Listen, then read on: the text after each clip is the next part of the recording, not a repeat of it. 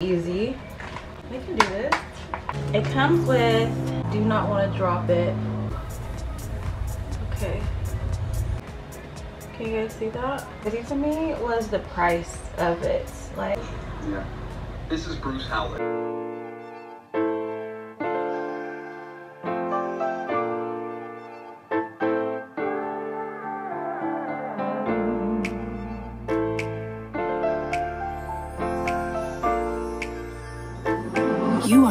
Listening Anyway Well.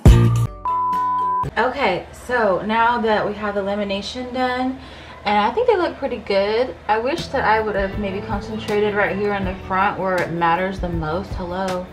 Um, but it's okay. I think the rest of them look pretty good. Now, as you can see, um, we definitely need to clean these up. This is definitely not a done job. So I have my wax warming up already and this is the waxer that I got off of Amazon because Amazon is where it's at. And I, I actually waxed my eyebrows yesterday. So this is what we got. I I'll, I'm gonna do better next time but I didn't take any before shots um, but it did really good. I mean for me not to have been waxing I haven't been in school probably five or six years. So I did pretty good I think from the things that I could remember. And also I kind of refreshed I refreshed. It's like continual learning. We're going to use hard wax on the brows. And I think because again this is all kind of foreign to me I usually get my eyebrows done by somebody else I'm going to make sure that I don't mess this up. And I'm going to take an off-white pencil. This one is by Revlon. Yeah, so just any kind of pencil. It could be any color, really, honestly. By the time it's all said and done, you can wash it all off. It's makeup, but um, we all kind of know this by now. But your eyebrow has a starting point. It has where the arch is supposed to be, and it has where it's supposed to end. Now, it is always up to you what you want your eyebrows to look like, but, and also, sometimes your eyebrow literally doesn't make it that far. People sometimes have wider set eyebrows and with that you can still fill them in but you know it's just don't be so hard on yourself. So I'm going to actually it needs to be more like this. I have a big nose so I'm gonna do mine like right here instead of like out here because then it's like up there and then that gives you the wide eyebrow look. Wide set eyebrows. Um, so what we're gonna do is I'm gonna take it right here. Make a mop on both sides. And then I'm gonna do my arch, which is going to be right in this area. So right like on the outside of your iris. And let's put a mark right here. How about that? Again, look straight ahead, which I'm looking over here. Know where the height of your brow is supposed to be, the height. So, and then the very end of it is coming from your nose. So your nose, boom. So now we have boop, boop, boop. So we have our starting point, our highest point, and our ending point. Okay? now, I just want to be careful with this situation. So what I'm to do is I'm to go in here and I'm just to like...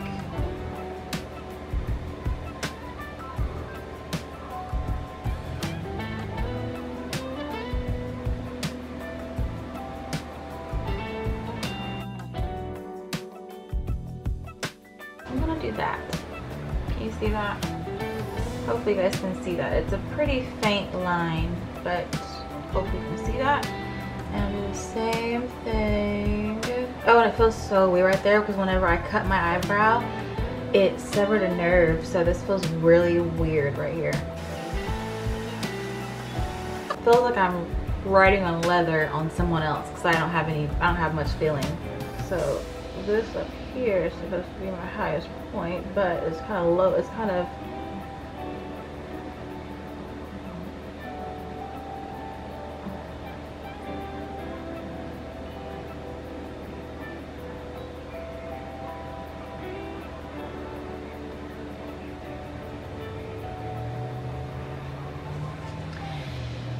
back in the day we used to try like make it straight right there. Well, for a lot of people like myself, when I make my eyebrows go straight across right there, then you have like those eyebrows that look like that. You don't really want that. You kind of want the whole thing to be flattering, right? Especially if you have, um, you want your eyebrows to be arched. You don't have the opportunity to get that if you start so square right here. Mine kind of dip down perfect how I want them to. People are so picky about other people's eyebrows. Do you notice that? So the warmer has been on for about 20 minutes, so it should be good to go.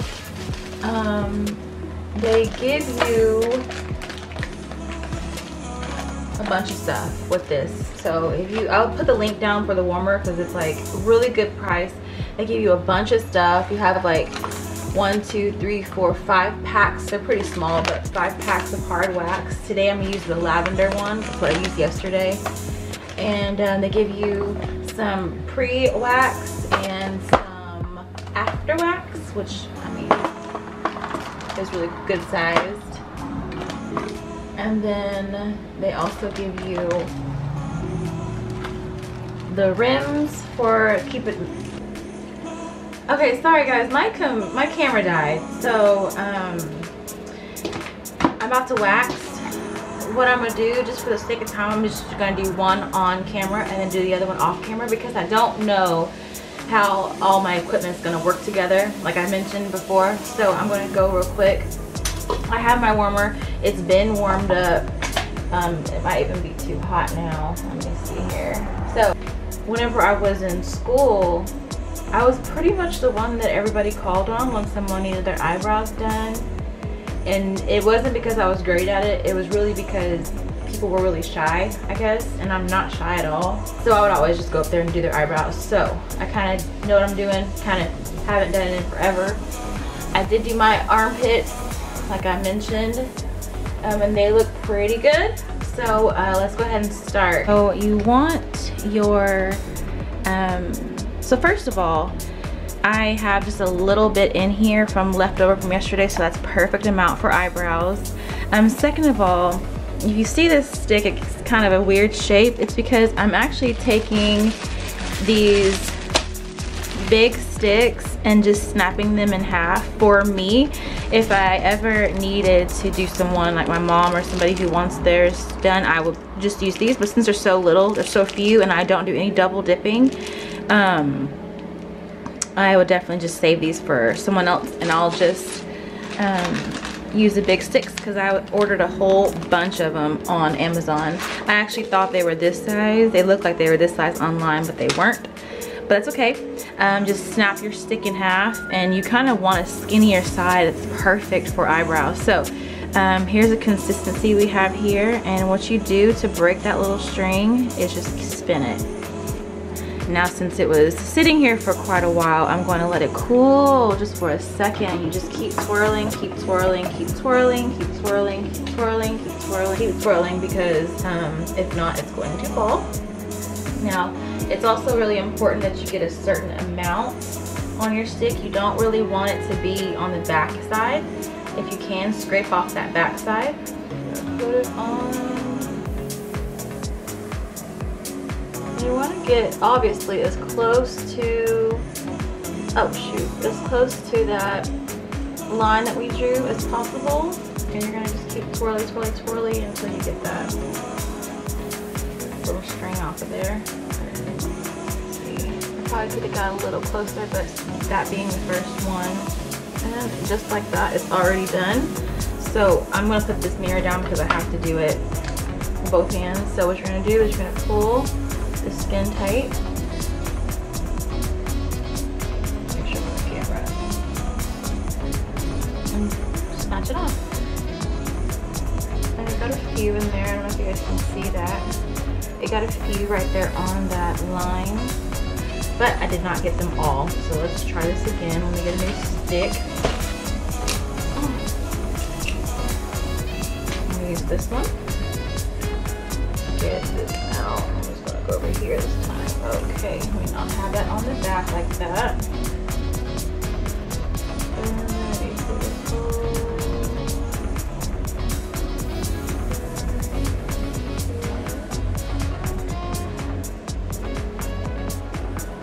And what I'm gonna do this time instead of going this way I'm actually gonna snatch downwards because you typically wanna go along with your hair and then pull opposite. And since mine are going upwards, I'm gonna snatch them down. I'm gonna pull as tight as I can and snatch off. I Just have a lot of hair, so it's having a hard time. Can you see that? Can you see those hairs? All those hairs? Do it a few times because the truth is, I haven't had my eyebrows done all year and it's March of 2022. So again, we're going to go in. I still gonna be one eye, but really I'm going back and forth because um I don't want to overlap myself. So and then make sure uh-uh my, my wax is cooling down. Let me turn it up. Not 200, relax. Okay. Put it on about 175. It's cranking up as we speak. But first, while it's warming back up, I am going to my eyebrow brush and kind of just brush them up a little bit. And we're gonna trim. Some scissors here.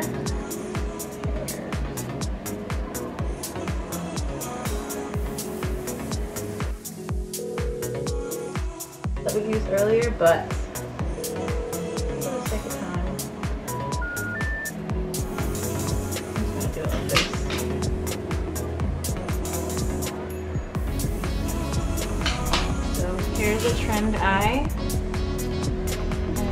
obviously this is the one that's not trimmed. So let's go ahead and do that one.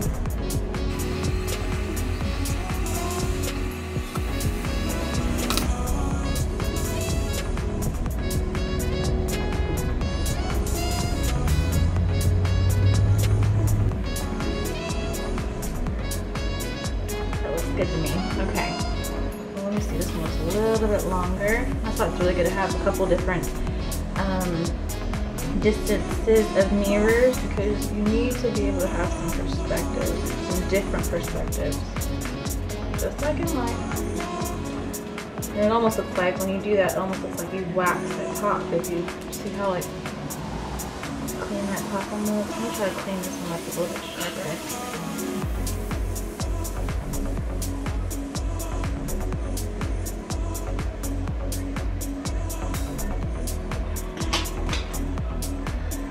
Far, this is going pretty good. For now. Let's go back to the wax. Make sure your wax is warm enough. And I'm gonna do the top part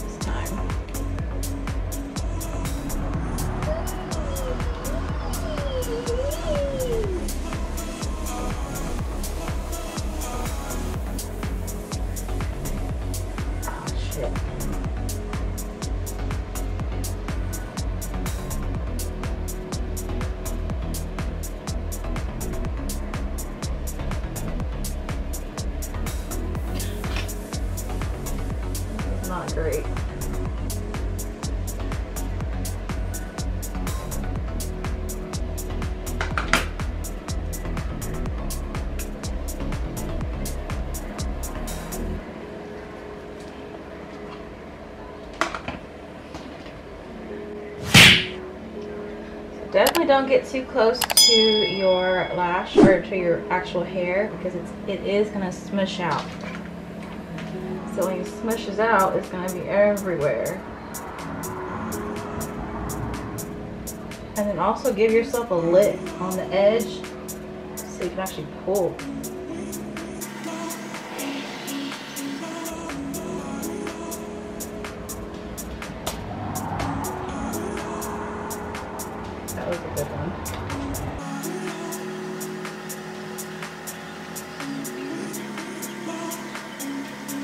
So I'm just gonna keep going guys and I will be back with the final product.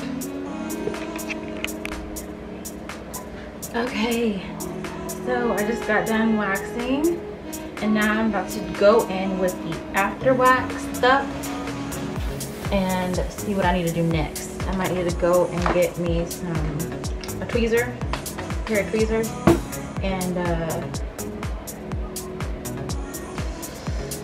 get any ones I may have missed or if it's good to me, then it's good to me. Hard wax is really controllable if you know what you're doing um, and definitely know what you're doing before you decide to do this, but I think it turned out pretty good.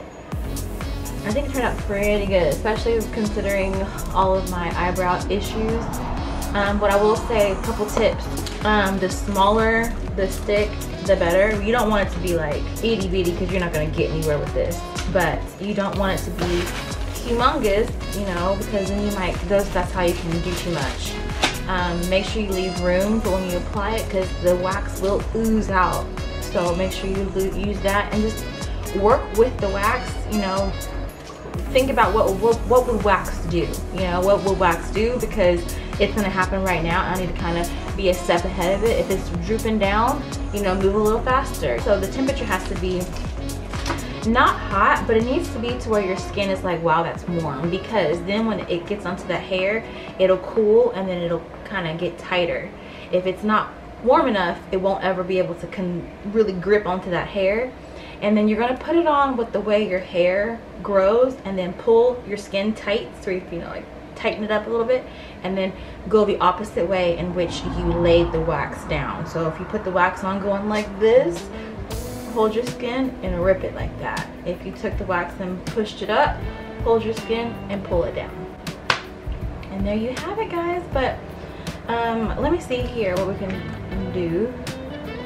Yeah, I do have a few. I'm gonna get some tweezers and tweeze. And then also I'm gonna do my lip. Actually, I'm gonna do my lip first.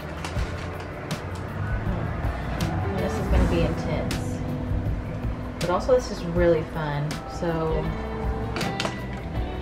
my hair goes down, so I'm, gonna do it down. Uh oh.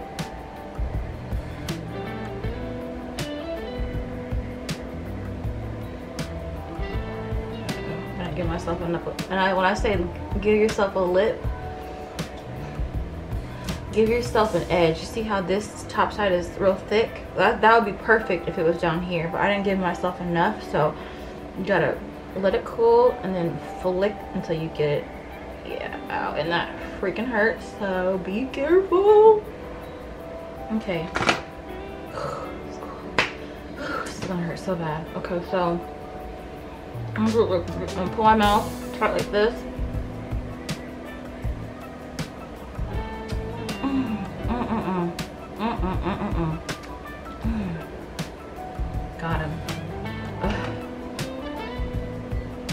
wasn't that bad. I thought I thought I was gonna real bad. Okay, now look at this side. I don't even see these hairs right here. They're real fine. They're real little and it's extremely normal for women to have a little fuzz we are human we are mammals after all same thing i'm gonna go downwards this time i'm trying to make a lip for myself yeah there we go a little bit better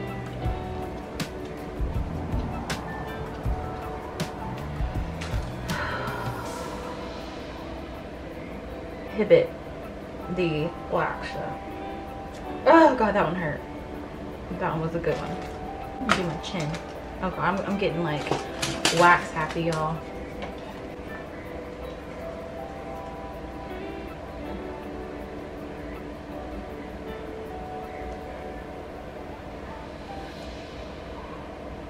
Oops.